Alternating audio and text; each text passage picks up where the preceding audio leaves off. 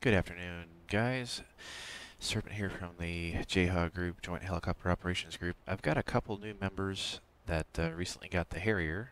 Um, so instead of trying to coordinate with uh, everybody to do some training, I figured I'd make a video on what I do for the cold start. Um, at least what I do anyway, and it works for me, so hey, there you go. Take it for, take it for what you got, and uh, we'll, we'll get this thing started and get off the deck here. Um, in the cold and dark, first thing I typically do is get rid of the stick, um, just so you can see things a little better. Uh, step one for me is always have the uh, crew remove the wheel chocks. Remove the wheel chocks. Copy. Wheel chocks are now removed. There you go. And your parking brake is already set at default, which is this little lever right here. Um, first thing I do, come back around the back side here. I'll try to zoom in so you can see what I'm actually clicking on. I didn't turn on the cursor recording so you can actually see that now. So DCS on, DES, DECS is on, sorry. Um, fuel shutoff is on, oxygen to on. And then before I turn on the fuel pumps, I will typically go over here and turn on the battery. Um, and then I will turn on all of the light gauges. Uh, that way once we do have power, it's all functioning, and this will also turn the radios on at this point as well. So if you need to make contact with uh, anybody on SRS, this is how you do it.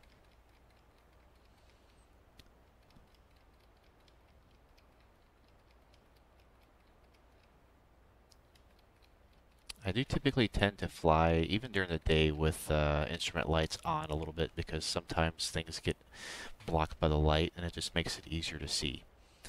Um, so now once we get that, I go to engine. I put the engine settings there. Uh, we won't do anything else until we get power on. Uh, but what I will do before I go and start things up, I will go ahead and turn on the flap switch. Uh, otherwise you'll hear a big warning saying, hey, flaps. Uh, then you want to ensure that the anti-skid is on nose wheel steering. Uh, that way you at least can steer from taxi. Uh, from here, fuel pumps are on. You go to make the engine start forward and come up to watch the engine RPMs will climb up to 92. Once it's stable at 92, you can bump the throttle forward and it will continue the rest of the way up to idle.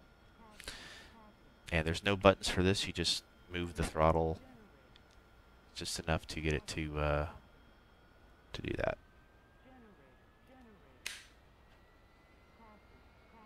Then that will stabilize and also give you control of the nozzles, which I'd leave at 40.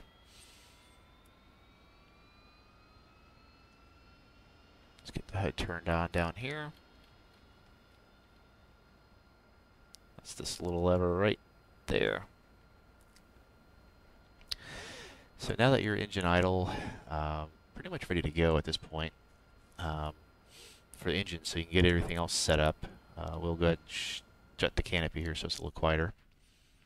Um, in our servers, we don't have anything set up to where you have to do any INS alignment um, with with the Harrier, as long as your special settings are set to do so. So if all you have to do is actually switch over to nav, and then all of a sudden, hey, you have a map. You don't have to wait for this thing to uh, align, which is nice. Uh, it's just a, it's a time saver, really. It uh, you know, just one extra step we can avoid.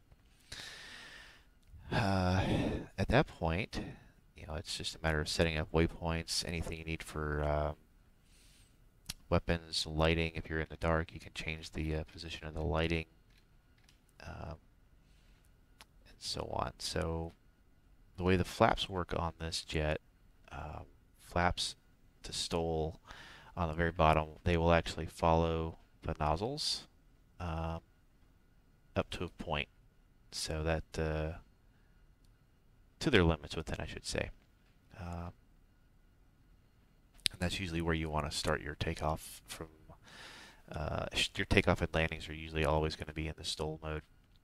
Uh, So changing co communications for SRS purposes, you can click on the comms 1 button, and our common frequency is 252, oops, clear, um, 2 decimal 00, and enter. And there you go. Now your comms are going to be on that frequency. So you can change anything UHF with that uh, command there. Um, at this point, I can go and this lever back here is the arming, arming of the uh, ejection handle, which is kind of important. And then RWR to on. We'll go turn that volume down just for now. Um, and then the uh, countermeasures to auto. But you can do that after takeoff if you want. We don't follow the, the, the handbook here. Uh, this is just the best way I've found to do it, and uh, it works. So one thing that you will notice on here in the STOL mode on the HUD is you can hold down the nose wheel steering button and your nose wheel steering will go to high gain, which is what you'll need sometimes to turn on the boat so you don't run off the deck. Um, even some of the ground taxi areas are pretty snug. Um, so as long as the nose wheel steering switch is on, you will have that option. Um, I think by the book, you, you, should be taking off with it off, um, but I've never found that to be useful except for on landings on occasion. That way, if you land a little bit sideways, the castering main gear underneath your seat here is able to uh, kind of float around a little bit so you don't tip the thing over. Uh, so now we are going to hold the foot brakes because this thing will roll with the parking brake off. And uh, we'll go ahead and disengage the parking brake. Sorry, my zoom is getting a little jittery here. Turn off that master warning. Uh, you can set a bingo fuel prior to this if you want. This is just a quick get up and go video, so that's something I often do in the air once I know how much fuel I have when I'm off the boat.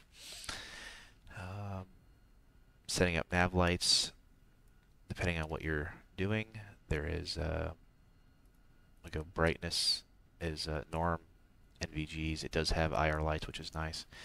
Um, and then your actual light controls are, on, track IR, down here. And you can change those. So there you have it. We'll do a quick roll by view.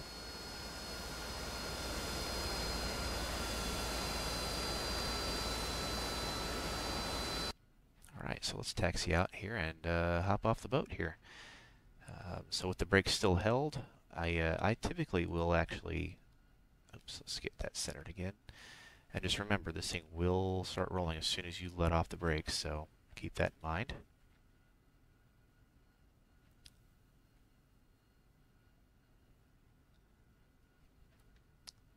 And this is only the second time I've lobbed this thing off of the Invincible here, so we'll see how it goes. Um, I've So far, I've only done it the same way I do with the Tarawa. Um, point the velocity vector in the center of the pitch ladder right down the, uh, the ramp. And kick the brakes here. And sometimes if you're really heavy, I'll actually uh, use the nozzles to back up to uh, further after the boat. That way you can get as much of a run up as you want. Um, then I'll go to 20%, 20 degrees on my uh, nozzles. Bring up my power, which you can see the RPM gauge up there. You want you don't want to exceed 100 um, if you can help it. If you're really heavy, you can turn on the water um, just down here. But typically, you don't need it. Bring my power up to 100 here. Once you start to roll, let off the brakes, and off we go. And as soon as you hit the edge of the ramp, you drop in the nozzles to 50. And off we go.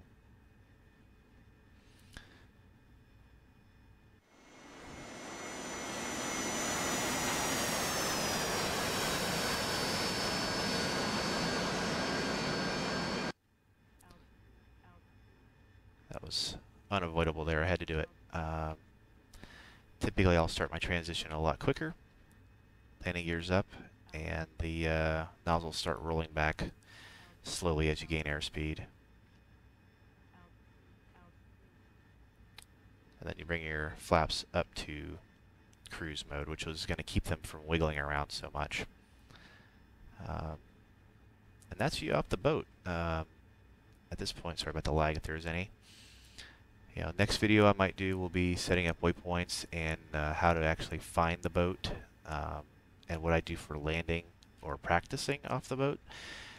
Um, because there's some really neat things you can do with this, uh, with the TACAN and the course line, so you can see what you're doing.